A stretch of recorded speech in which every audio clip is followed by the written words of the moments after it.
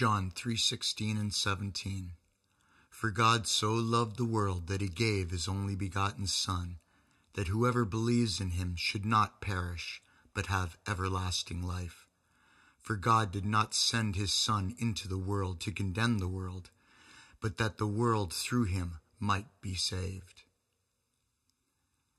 Acts 2:21 And it shall come to pass that whoever calls on the name of the Lord shall be saved. Psalm 62:1 Truly my soul waits upon God, from him cometh my salvation.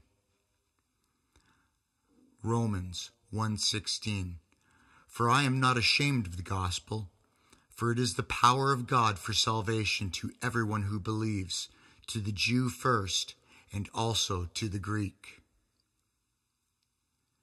2 Timothy 1 9, who has saved us and called us with a holy calling, not according to our works, but according to his own purpose and grace, which was given to us in Christ Jesus before time began. Habakkuk 3:18 Yet I will rejoice in the Lord. I will joy in the God of my salvation. Ephesians 2 8 and 9. For by grace you have been saved through faith, and not of yourselves. It is the gift of God, not of works, lest anyone should boast. Romans 5:10 For if when we were enemies we were reconciled to God through the death of his son, much more, having been reconciled, we shall be saved by his life.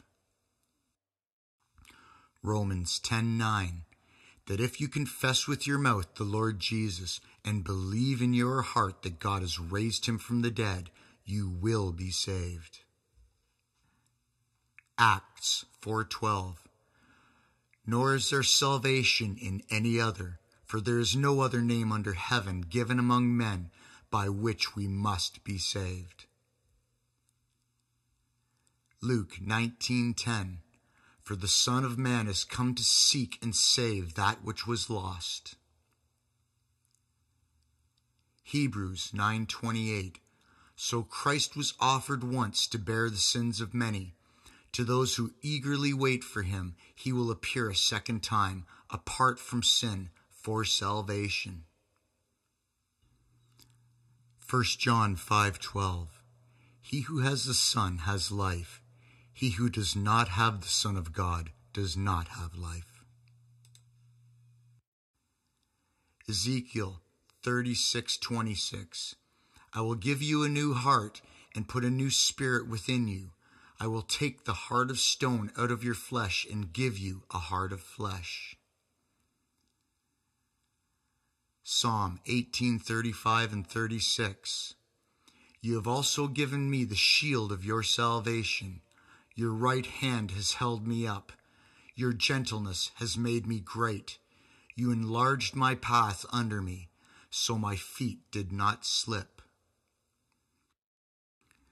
John 3:36 He who believes in the Son has everlasting life, and he who does not believe the Son shall not see life, but the wrath of God abides on him.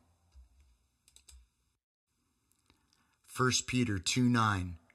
But you are a chosen generation, a royal priesthood, a holy nation, his own special people, that you may proclaim the praises of him who called you out of darkness into his marvelous light.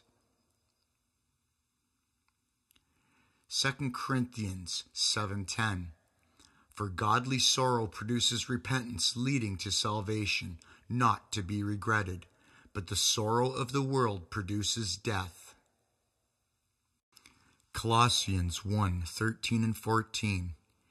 He has delivered us from the power of darkness and conveyed us into the kingdom of the Son of His love, in whom we have redemption through His blood, the forgiveness of sins. Acts 16:31. They said, "Believe in the Lord Jesus and you will be saved, you and your household."